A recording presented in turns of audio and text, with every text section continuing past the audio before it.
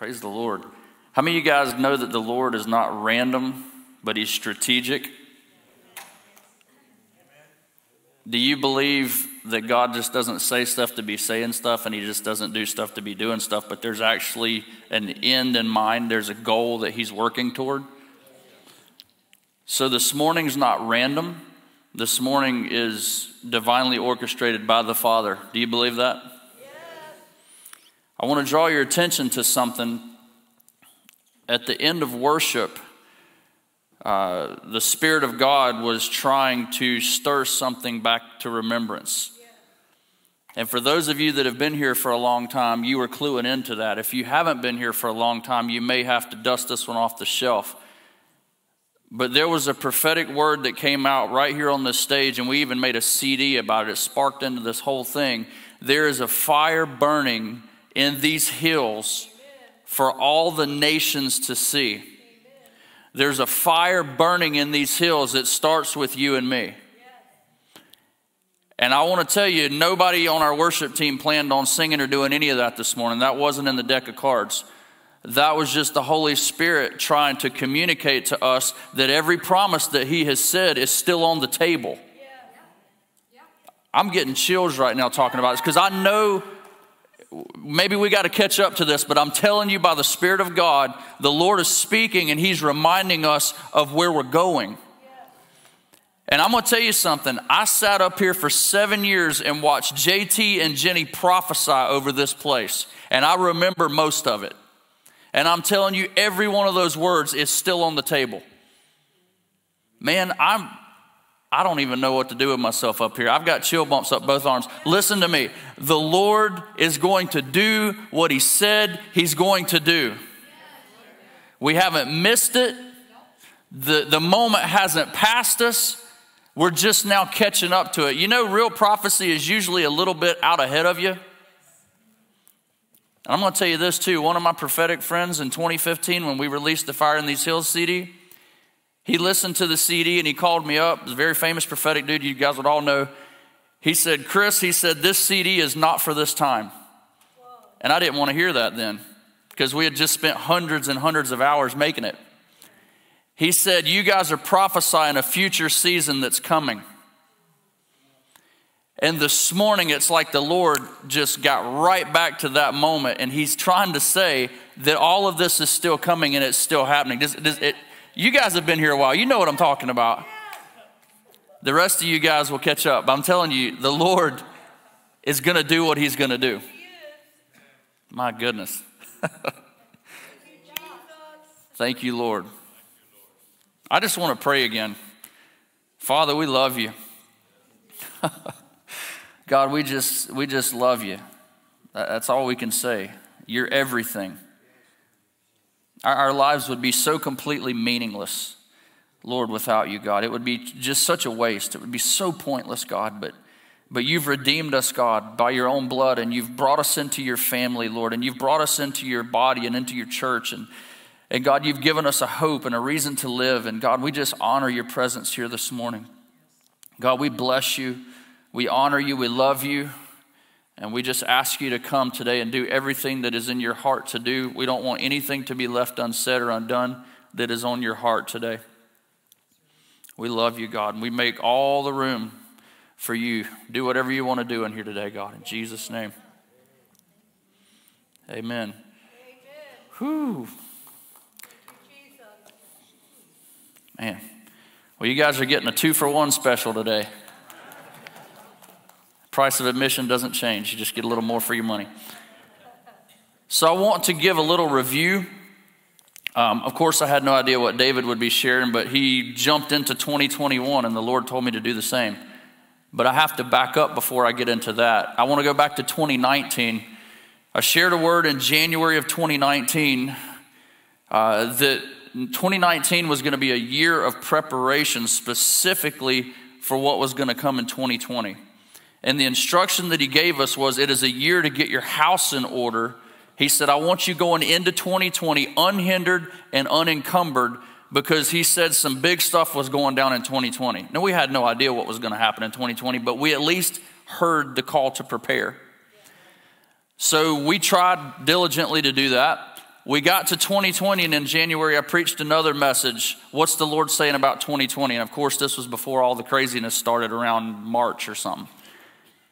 The word that the Lord gave us for 2020 was it's time to shine. And it kind of has a double meaning because I didn't realize how dark it was going to get. So if I look out the window right now on a day where it's bright and sunny, you can't see the stars. They're there, but you can't see them. But if we walk out there tonight at midnight, if it's a clear sky, you'll see every star in the sky. So when the Lord was saying it's time to shine, what he was saying is it's getting ready to get dark. But I've called you as the church to shine like the brightness of the stars. And so we've been trying to be diligent and obedient to that word this year. We have been trying to shine in every way that we can possibly shine because obviously we are the light of the world. We're the hope of the world. There's nothing else. This world's going to get darker and darker, and the church is going to get brighter and brighter. Amen? We can talk about the darkness all day long. I'd rather talk about the light. I'd rather talk about shining. Because I'll be honest with you, the darker it gets, the better we look. Is that the truth? I don't need my flashlight until it's dark. So that was the word that the Lord gave us for 2020. Two weeks ago, the Lord spoke to me about 2021, and I haven't publicly, well, I may have shared a little bit of it last Sunday here, but uh, it was at Sunday night, so most of you guys didn't catch that. But I heard this as clear as I heard the one for 2019 and as clear as I heard the one for 2020. He said, 2021, it's time to build. It is time to build. And he didn't seem much interested in what was going to be going on with the world. You hear what I'm saying? It wasn't like building was going to be contingent on whether the circumstances were favorable or not. He didn't say, well, if everything goes the way you think it should go, then you should build. No, he said 2021 is a year to build. And so, you know what I do because if you know me, you guys know I'm a scripture guy. I went straight to the Bible. Where did Jesus talk about building? I went straight to it. And you know where it is? Matthew 16. And David already quoted it, and I'll repeat it. Upon this rock I will build my what? My church. And the gates of hell will not prevail against it. So here's what we all have to know going into 2021. No matter how much this world shakes, rattles, and rolls, which we know that it will, as the church, we're called to do this join in the Father's business. What's the Father's business? He is building His own church. He is building this amazing, it's the best thing on planet Earth. I have to tell you this. I, I don't want to get too much on a rabbit trail, but I don't understand Christians who don't like church. I can't wrap my head around that one. I just can't wrap my head around it. When I was a kid, I jokingly say I had a drug problem when I was a kid. I was drugged to church every Sunday, every Wednesday, every prayer meeting, every I mean, we were in church. Look, can I just tell you this? There was never one Sunday in the entire history of my life, 0 to 18, where my mom or dad came up to me on a Sunday morning and said, "Hey, I don't think we're going to church today." It happened this many times from 0 to 18. And do you know what? Oh, am I scarred for life? Oh, I'm some religious nut. No, I've actually loved Jesus my whole life. So I'm not a fan of this. Can I just tell you this? I'm, I'm kind of going a little bit off track here, but it, it'll get back to where I'm going. Do you know that the average church attendance right now in America is maybe 40%? And that's people that say they're committed to a local church. So that means the people that really actually love the church go 40% of the time the doors are open. Now I know we got COVID and that changes things. I get all that. Hey, web streamers, we're with you. But I'm talking about just not having a commitment or not having a value. Can I tell you something about human nature? You do what you want. Whatever you value, you make time for. If I value my kids, I'll make time for my kids. If I value church, I'll make time for church. If I value these relationships, then I'll make room in my life for these relationships. So here's the thing I'm telling you, I don't care what the world's doing and the people that don't like church. I'm going to tell you what the Father's doing. He is building His church. That's what He's doing. And the gates of hell are not going to prevail against it. Can I tell you something else that's interesting about that Matthew 16 scripture? the first verse in 16:1 it says, "And they entered the reason the region of Caesarea Philippi, And this is where Jesus has this first revelation that he's the Christ. Remember, he asked them, Who do people say that I am? Oh, well, some say you're Elijah, some say you're the prophet, some say, okay, Peter, in his shining, glorious moment, you're the Christ.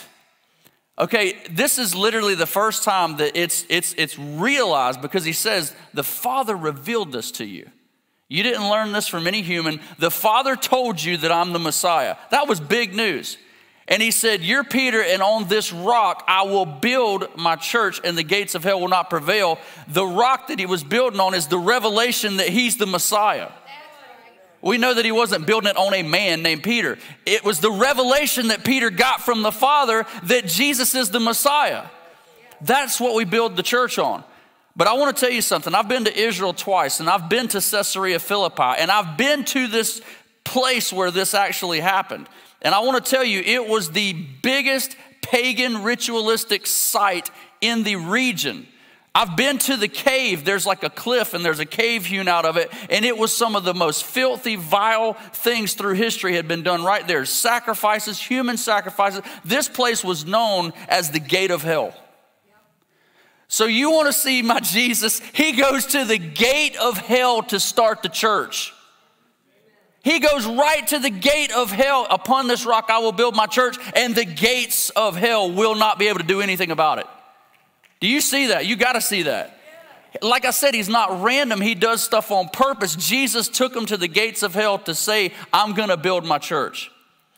So again, 2021, I don't care what the gates of hell throw at us at 2021. I'll be honest with you. I don't care. Oh, I got to be careful. I'm just telling you, I don't care what's going on out there. I know that I've been given a command from God, and it's this it's time to build. It's time to build. So, you know what? I'm excited about building. No matter what happens in the world, that stays the same. I get a little excited when I preach but it's because it's true. Truth resonates in your heart and it's like it's like pumping life into you. Do you guys feel that? So I want to read. I usually have my computer and screens and all this stuff, but uh, we might can get some scriptures on the screen. I'm going to Ephesians 4 and I'll pull it up on my phone. But so how are we going to build? We know that we're supposed to build. Now, how are we going to build? I'm going to start right here in Ephesians 4, verse 1. Therefore, I a prisoner serving the Lord, beg you to lead a life worthy of your calling, for you have been called by God. Here's some good counsel for us always be humble and gentle. Be patient with each other, making allowance for each other's faults because of your love. Make every effort to keep yourselves united in the Spirit, binding yourselves together with peace. Now, here's what I want you to hear on this there's seven ones that we all have in common if we're born again. Here they are, starting in verse 4. For there is one body, there is one spirit, just as you've been called to one glorious hope for the future. There is one Lord, one faith, one baptism, one God and Father of all, who is over all, in all, and living through all. So I'm going to tell you something. If we are the church, if we are born again, every one of us, we might have a bunch of stuff not in common, but we've got those seven things in common every day of the week. One for every day. And I want to tell you something about this region that we live in, and, and you may already know this, but David, myself, and probably a dozen other local pastors in this region are coming together in unity surrounding these scriptures right here. I mean, different denominations, different races, different backgrounds. And do you want to know what? There's real unity. There's a real brotherhood that's not just inside one local church, but it's regional. What do you think God's going to do in a region when churches are not in competition, but they're actually in unity? Do you think God's going to pour out His Spirit on that? You open with Psalm 133 how good and pleasant it is. Why are we here today? Why am I here today? Why is our team here today? Because of this unity. We are one body. We have different giftings, we have different flavors, we have different whatevers, different callings, but we are one body and we have these seven things in common. Everybody say amen about that. Amen. So, how are we going to build? We're going to skip down to verse 11. Are you tracking with me on the scriptures? Good job. Hey, these guys in the sound and the media, they're the unsung heroes of every meeting. Bless you guys. They're the hardest working people in here. So verse 11, Ephesians 4:11. Now these are the gifts that Christ gave to his church.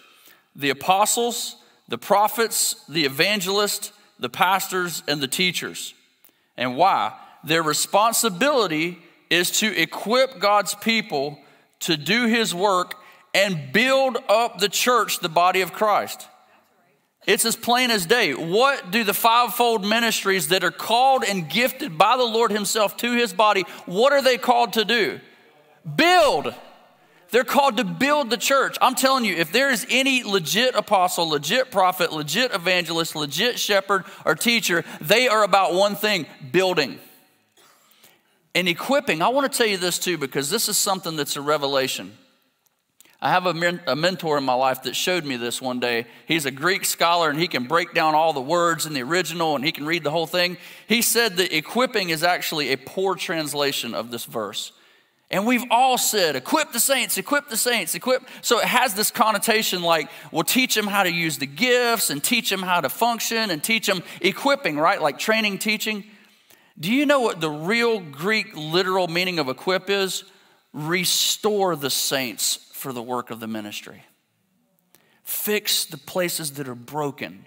Heal the relationships, heal the wounds. It is a whole different thing to me teaching you how to use a gift because some of the most gifted people I know are the most jacked up people I know.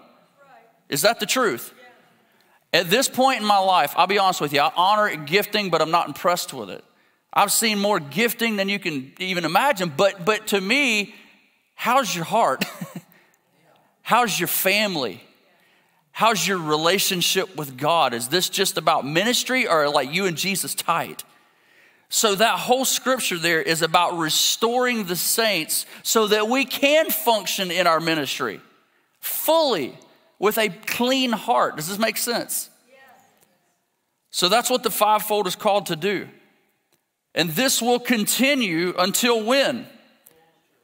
Until we come to such unity, there it is again, in our faith and knowledge of God's Son that we will be mature in the Lord, measuring up to the full and complete standard of Christ. Has the until happened yet fully? Okay, so let me just give you some very obvious points here. If the until hasn't happened yet, we still need apostles, we still need prophets. We still need evangelists. We still need shepherds. We still need teachers. Don't let anybody talk you out of any one of the five because there's all kind of doctrinal whatever that would say, well, some of these are around and some of these are not. Until, I'm going to give you one word until. Have we reached perfect unity? Have we worked perfect maturity in Christ? Are we there yet? No, we're not there yet. So, what do we still need? We need all five of these ministries. And can I tell you what?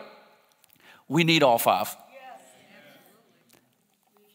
And I have to say one other thing too. I may say two other things or three, but listen, this is not a hierarchy.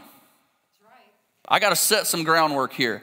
Apostles are not first in preeminence and then prophets and then blah, blah, blah. No, it is linear, it is the order in which you build apostles and prophets lay the foundation. Ephesians 2.20 the foundation of the church is laid by apostles and prophets which is the lord jesus christ. If you ever meet a true apostle or you ever meet a true prophet they're really got one heart. Build christ in the people. Lay that firm foundation. I am preaching something right now. Then you bring in the evangelist after you've laid foundation and they get more people saved. And then what do those people need? They need a lot of shepherding, man, because they're coming out of the world and they are a mess. And then we got to have teachers. Teach them to obey all that I've commanded you. That's the Great Commission.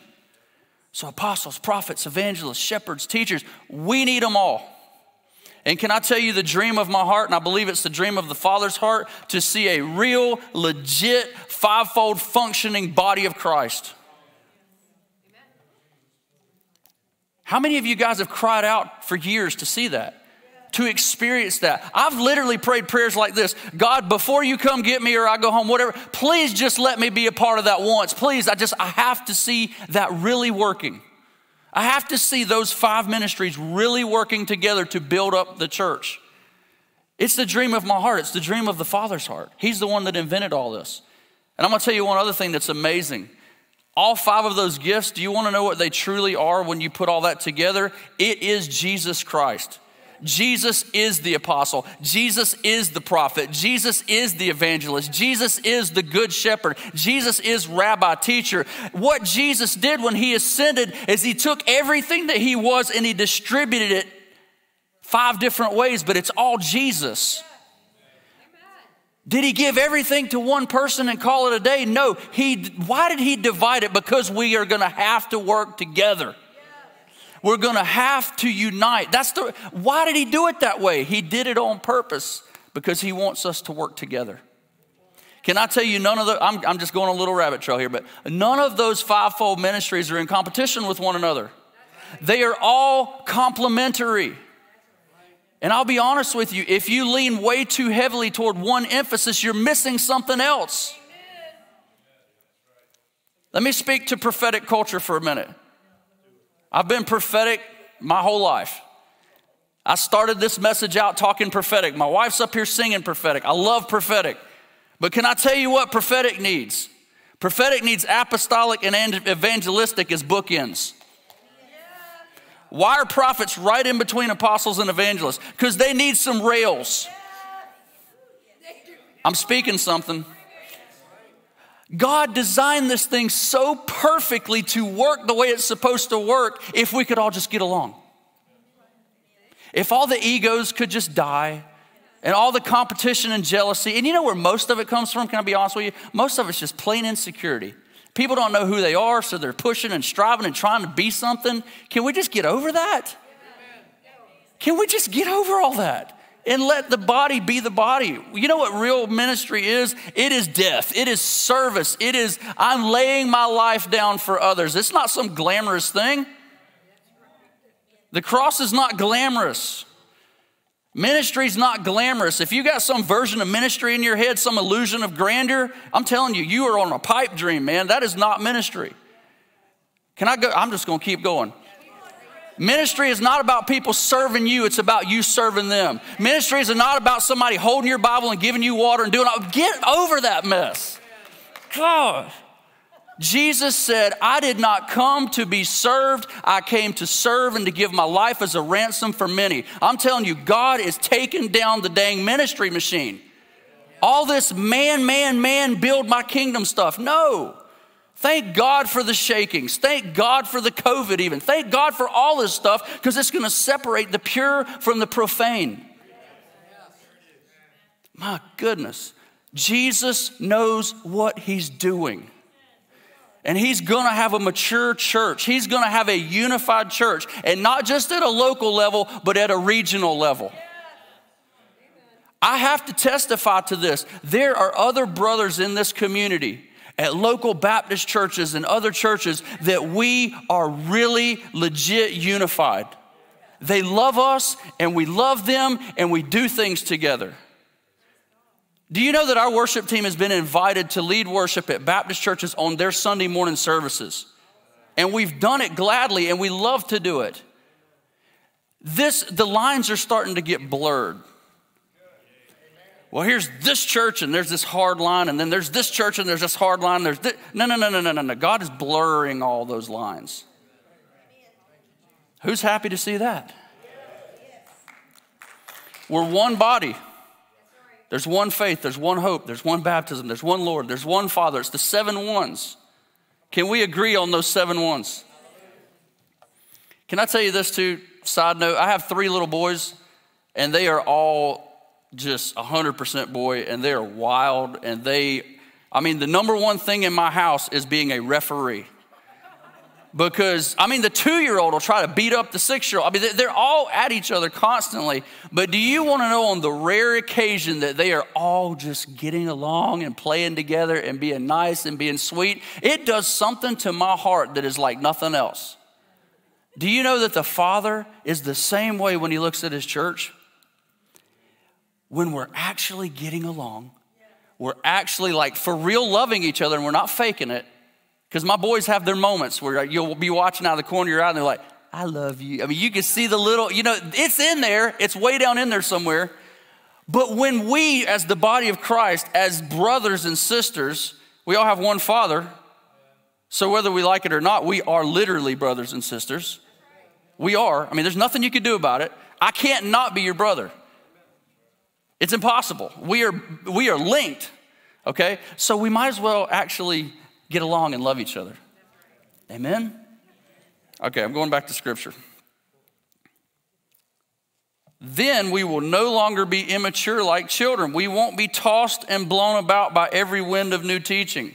Can I tell you something? When there's a lack of fivefold ministry, this is the result immature like children, tossed and blown about by every wind. Have we seen this? We will not be influenced when people try to trick us with lies so clever they sound like the truth. Instead, we will speak the truth in love, growing in every way more and more like Christ, who is the head of his body, the church. Amen. Hallelujah. He makes the whole body fit together perfectly as each part does its special work. It helps the other parts grow so that the whole body is healthy and growing and full of love. What does 2021 look like? That right there. We're going to build that. Amen? We don't have to wonder, man, God, what are you doing in the earth? God's building his church. That's what he's doing. I'm going to get really bold here. It has nothing to do with who's elected president of the United States of America. Do we have a preference? Of course. Do we feel like one guy was more toward what God wanted? Of course. And all that's still up in the air. But I'm telling you, that has nothing to do with our command to build the church. Zero. And let's be honest, if you look through church history, the church actually thrives in times of persecution and it falls asleep during times of success. We're not giving God much motivation, are we? That's church history. It's Israel's history too. God blessed them. They fell asleep at the wheel. They become apostate. Then they have to go into captivity. And then the whole cycle flips over again. They repent and then he blesses them again. And the entire history is that over and over and over and over and over. That's the entire Old, Old Testament in a paragraph. That cycle over and over and over and over. And the church does the same thing. But I'm telling you what, guys, whether we are in the hardest season of our lives ever or the most blessed season of our life ever, this is what God's calling us to do. He's calling a fivefold ministry to function and to build up the church, to make it unified and mature in Christ. So, who wants to sign up for that? I'm going to give my life to this. I have given my life to this. This, this is all I got. This is all I do and chase my little boys around. Yeah, it's awesome. But, but this is what God has called us to do. And I'm going to go out on a limb here a little bit. This body is very diverse. And, you know, like I said, I spent seven years here, so I have a little bit of understanding. It's not like I was here for 30 days. I mean, seven years is a pretty good chunk. There is a variety of gifting in this room and out on the web. I know there's probably at least this many or more that are watching on the web today. I'm going to tell you what, there's so much more for this body than we've ever seen. Again, I'm getting back into this prophetic mode again. God was re stirring up some stuff this morning. I hope you were catching that. Because God wants to do some things that we haven't yet fully seen, and I'm going to even take it this far. This church has been known as a prophetic church of sorts. I'm going to go out on a limb here and say that I believe, because David actually even said it in his first part. I believe what God is trying to restore is a fully apostolic church.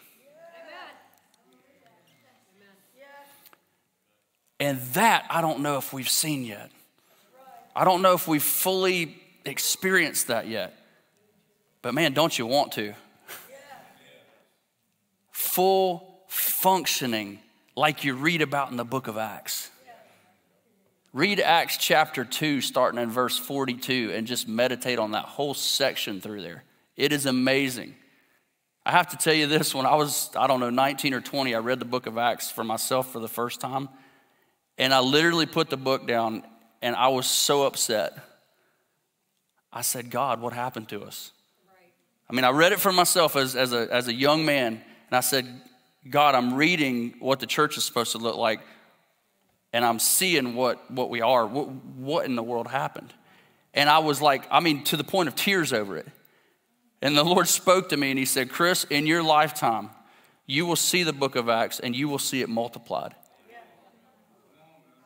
And I said, okay, I'm good with that. So God is restoring all things. That's apostolic ministry. Restoring all things and having Jesus first, preeminent, central. Everything is about Him. He's the cornerstone, He's the foundation, He's the building, He's everything. So, this is what God is building.